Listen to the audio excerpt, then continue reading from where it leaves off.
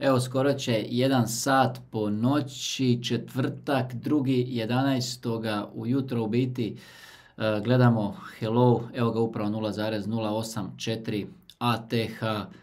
Svi članovi kanala koji su prepoznali ovaj projekt kad smo ga otkrili u ovom trenutku su više nego puta pet. Međutim, želim, želim podijeliti sad sa vama, mislim da je jako važno ovaj jedan e, detalj i vraćamo se nakon 9 sekundi.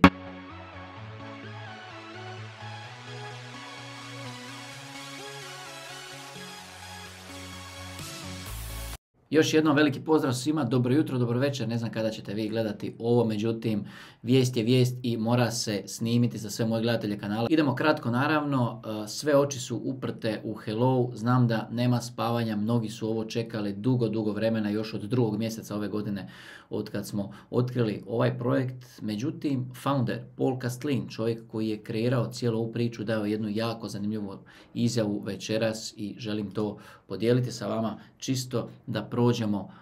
što se sada može očekivati, koji je sad trenutak, gdje se nalazimo, jer evo ga vamo, jer e, cijena kao cijena, stvarno eksplozija, luda eksplozija, svi znate neke naše poteze e, koje smo vukli, bavimo se s ovom temom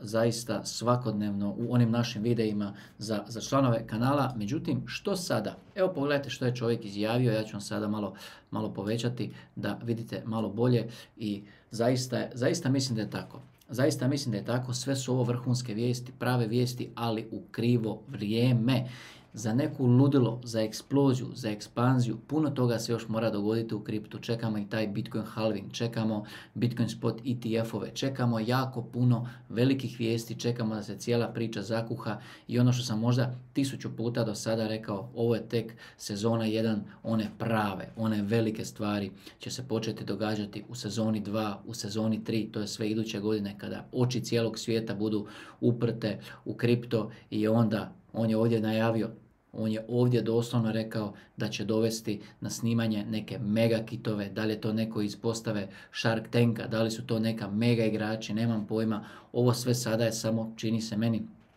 ispitivanje, ispitivanje terena, da vide kako će proći prva sezona, da vide kako će cijela cijena reagirati, koliko će imati uspona, koliko će ovaj projekt imati korekcija, kada će se te korekcije dogoditi koliko će biti teške, da li će to biti padovi od 10%, 15% ili 50%, svašta smo do sada već vidjeli. Vidjeli smo i ovu ovdje situaciju, mi smo već dočekali jednom jedan zaista lijepi all, time high, nismo prodavali, vjerovali smo ovaj projekt, dokupljivali smo, imamo zaista lijepe pozicije